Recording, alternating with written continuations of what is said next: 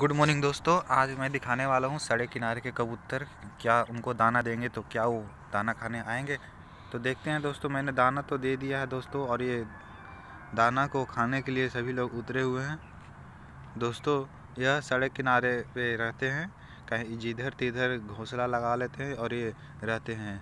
दोस्तों, यह जंगली कबूतर है। यह बहुत ही खूबसूरत कबूतर लगता है, क्योंकि ये लोग जो जंगली कबूतर है जनरली आप अगर पोसेंगे तो ये पोस नहीं मानता है।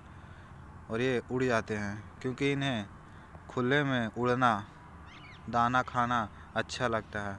तो दोस्तों, ये सभी कबूतर आप जो देख रहे हैं वीडियो में, यह सभी कबूतर सड़क किनारे घोंसले लगा कर रहते हैं।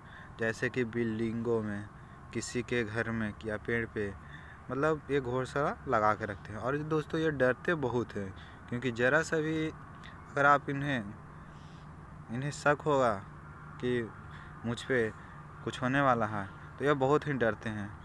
क्योंकि देखिए दोस्तों, अभी उड़ गए हैं सारे के सारे कबूतर। ये देखिए सुबह उड़ते हैं, ये सभी कबूतर साथ में उड़ते हैं और ये देखने में बहुत ही अच्छा लगता है। तो दोस्तों, हमने कोशिश किया था कि मैं इसके और करीब जाऊँ, पर ये उड़ गए हैं। दोस्तों वीडियो देखने के लिए धन्यवाद